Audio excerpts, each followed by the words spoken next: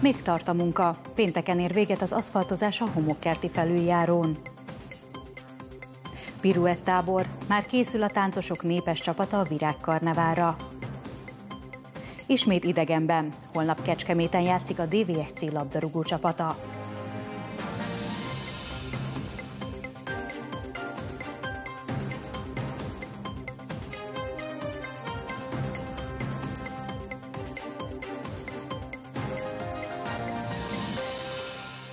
Köszöntöm Önöket! Ez a DTV híradó augusztus 8-án csütörtökön. Már is jövünk a friss debreceni hírekkel.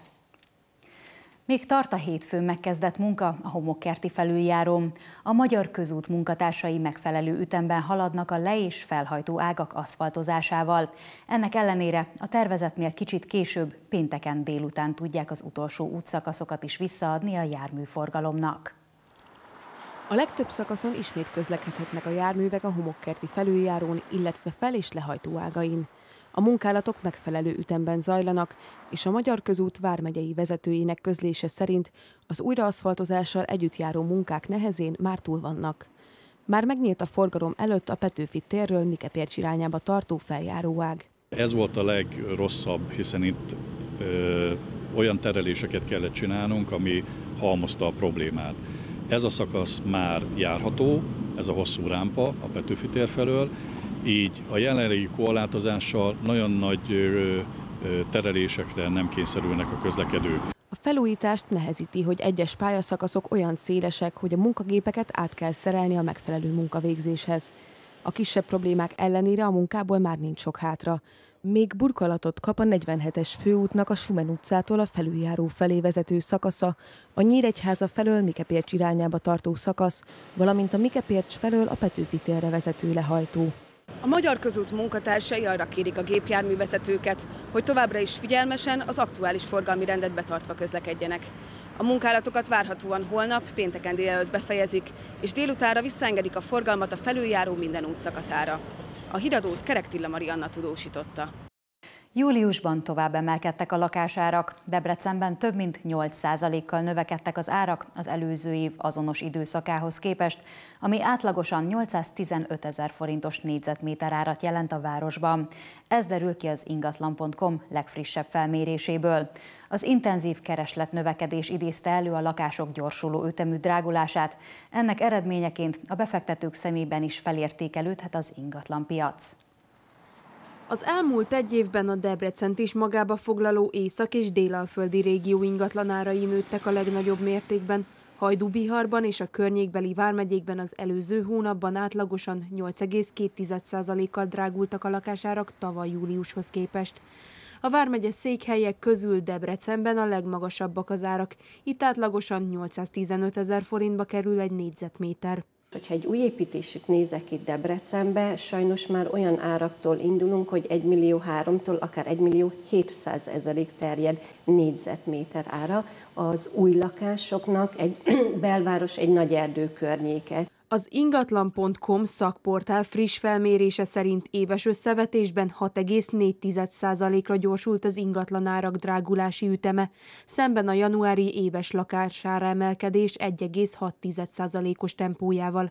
A lakások drágulását a megnövekedett kereslet váltotta ki elsősorban, ugyanis a vásárlók a korábbi kivárás helyett most nagy számban megjelentek az ingatlan piacon. A lakáshitelek kamataiban sem várható további csökkenés, sőt, bizonyos bankok már elkezdték emelni a kamatszinteket. Ez pedig arra, ösztönze, azt arra ösztönözte a vevőket, hogy inkább piacra lépjenek, ami még inkább növelte a keresetet az eladó lakások iránt, ez pedig további árnövekedést tett lehetővé az ingatlan piacon. Az ingatlan.com szakértője szerint a tempós lakásdrágulás, valamint az intenzív kereslet a befektetőket is visszacsábíthatja az ingatlanpiacra, ami újabb lendületet adhat az ágazatnak. Egy hét múlva már javában zajlanak a virágkarneváli kísérőprogramok, már a tánccsoportok is elkezdték a felkészülést. Híradónk stábja ma a Piruett Tánc stúdió táborában járt, ahol a gyerekek éppen új elemeket tanultak a későbbi koreográfiákhoz. Az Egyesület vezetője szerint folyamatosan új dolgokkal kísérleteznek, augusztus 20-ára készülve.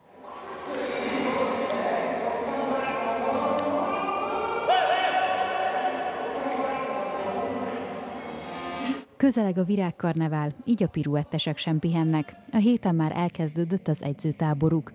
Augusztus 20-án rekordszámú 164 tagú delegációval vonul fel a csoport, az egészen kicsiktől a gyakorlott versenyzőkig. Én öt évesen kezdtem el táncolni, és hat éve csinálom, és hát a sok gyakorlás miatt tudok így táncolni. Nagy Blanka idén hatodik alkalommal lép fel a karneválon, koránkelés ide vagy oda, már rutinosan készül a 20 felvonulásra. Így debreceniként én teljesen máshogy tudom átélni ezt, mint például, amikor elmegyünk külföldre versenyezni, vagy például Budapesten egy országos versenyen vagyunk, és így úgymond így a hazai tudom így előadni, és ez így hogy is mondjam, megtisztelő érzés. A piruettesek szerint nagyon jó közösséget alkotnak, a tánc pedig fontos része lett az életüknek. Ki tudok kapcsolódni, és um, hát így át tudom engedni, ami például, hogyha az iskolában történik valami rossz érzés, akkor át tudom engedni magamat és aztán meg boldogan haza tudok menni. A virágkarneváli koreográfia előkészítése a stúdió vezetője számára a legnehezebb feladat, hiszen a közös táncot össze kell hangolni a különböző korosztályokkal, ám a piruettesek szeretik a kihívásokat. A piruett ugye magában forgást jelent, ugye ez egy balett szóból ered, és francia szóból ered, és azt gondolom, hogy mi is örökkor forgásban vagyunk, mert mindig új irányok fele tekintünk, és folyamatosan próbálunk megújulni, és én azt gondolom, hogy ez jelképez minket. A felkészítő táborban a gyerekek vendégtanároktól tanulnak, többek között hip-hop, társas, modern és kortástánc, valamint ritmikus gimnasztikai alapokat.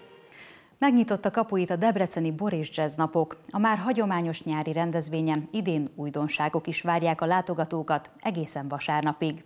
Délután érkeztek a Békástóhoz a Bor és Jazz napok első látogatói. A kulturális programon ezúttal 6 borrégió, 20 borvidékéről összesen 60 borászat kínálatát kóstolhatják meg a vendégek. A szervezők sétáló bortúrákkal és borral festő műhelyjel készülnek a négy napos rendezvényre.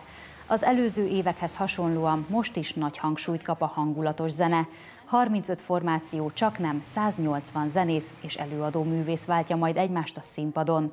A jazz repertoár mellett a swing és a funk felé is nyit az idei bor és jazz napok, de szerveznek táncworkshopokat is a látogatóknak. A nyáron már 350 kisdiák fordult meg a Debrecen táboraiban. A gyerekek a szakvezetéseken minden nap más-más állatfajokkal találkozhatnak, akár testközelből is. A táboroztató zoopedagógusok igyekeznek elmélyíteni a fiatalok állatszeretetét, miközben számos izgalmas információt is átadnak az állatkert lakóiról. Még három turnusban lesz zótábor augusztusban. Mi találtunk egyet! Bocsáskák után kutattak a zútáborozó fiatalok, ma délelőtt a Pálmaházban tanulhattak az ott lakó állatokról. Akadtak olyan gyerekek is, akik már visszajáró vendégek az állatkerti táborban. Vannak olyan helyek, ahol például egy normális ember nem mehet be, oda mi simán be tudunk jutni. Rengeteg állatról mutatnak be, minél több dolgot, amit még nem is tudtam én se, és hát tök jó látni az olyan állatokat, amiket ismerünk is szeretünk. A tüskéi neki nem szúrósak, tehát ez csak blöffölés. A szaktáborban az állatrendszertan alapján épülnek fel a programok, így a gyerekek minden nap más-más állatokkal találkozhatnak testközelből, sőt az állatkert kulisszáim mögé is betekinthetnek a zoopedagógusok segítségével. Az állatkertben az információ átadás mellett a tehetséggondozásra és az utánpótlás nevelésre is figyelnek. Olyan gyereket várunk ide, akiknek már van egy állatszeretete, és itt az intézményen belül környezeti nevelés szintereként el tudjuk ezt az állatszeretetet mélyíteni, és sokkal több információt a biológia kerettantervet figyelembe véve adunk át a gyermekeknek. A Zú Debrecen a nyári szünidőben 10 turnusban fogadja a kisiskolásokat. Hétről hétre mintegy 50 gyerek táborozik az állatkertben, megismerve annak lakóit, miközben élményeket és tudást is szereznek az élővilágról. Egy fiatal holland-lengyel fotóművész bemutatkozó kiállítása látható a Modern Föld szintjén. Fiosna von Bon alkotásai között vannak táj, természet és szociófotók, de a mögöttes tartalmuk sokkal több. Az alkotó 25 olyan családdal dolgozott együtt, ahol az egyik családtag börtönbe került. Az ő életüket mutatja be tárgyaikon keresztül, vagy környezetükön keresztül, de videóinterjúkat is készített. A szereplők nem véletlenül nincsenek rajta a felvételeken. Ezzel jelzi a művész, hogy bárki kerülhet ilyen helyzetbe, és ezzel együtt társadalmi kirekesztettségbe. Szerettük volna rávilágítani a figyelmet egy, egy stigmatizált részére a társadalomnak, mert ahogy ahogy bekerül valaki a büntetés végrehajtás rendszerébe, nem csak rá kerül egy stigma az élete hátra lévő részébe, hanem bizonyos szempontból, ahogy az interjúkból is kiderül, a családjára is.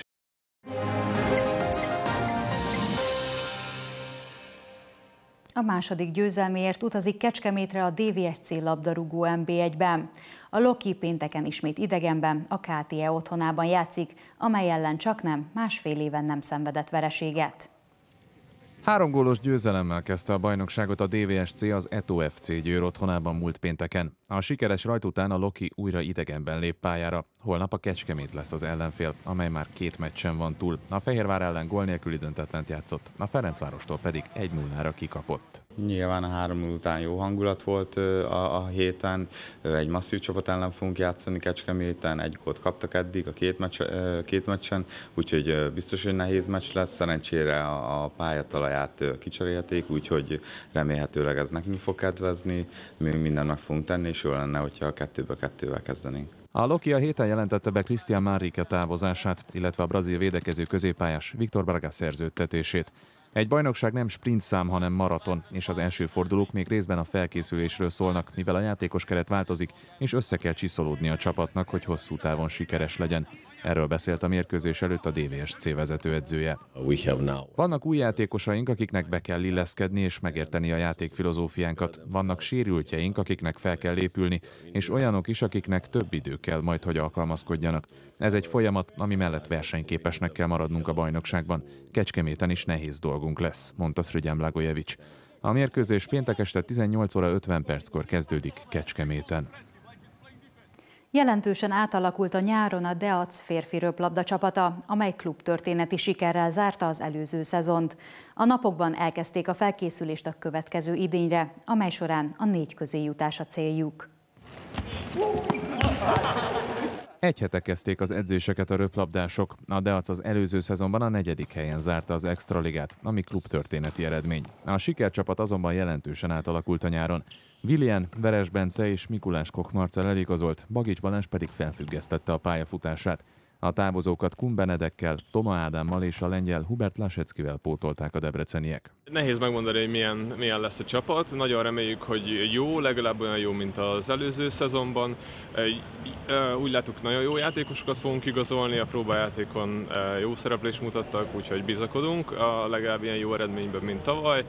Szeretnénk ezért mindent meg is tenni. A keret még nem teljes. Úgy tudjuk, hogy egy kubai játékossal megegyezett a csapat, ő viszont egyenlőre nem kapta meg a vízumot. Rajta kívül a lengyel légiós, illetve az országos strandröplabda bajnokságon szereplő Kumbenedek és Bán Viktor is később csatlakozik a felkészüléshez. Reménykedünk, hogy összeáll a csapat úgy, hogy az versenyképes lesz. Nyilván ezt a elért negyedik helyet megtartani, vagy felülmúlni, az egy olyan feladat, amelyikre most még nem lehet biztos választ adni de nem tartom kizártnak, hogy versenyben leszünk az első négybe jutásért. A sorsolás még nem történt meg, a bajnokság várhatóan október 6-án kezdődik. Ez volt a csütörtöki DTV híradó. További hírekért keressék a dehír.hu hírportált, tartalmaink a közösségi média felületeinken is elérhetőek. Köszönöm a figyelmüket, viszontlátásra!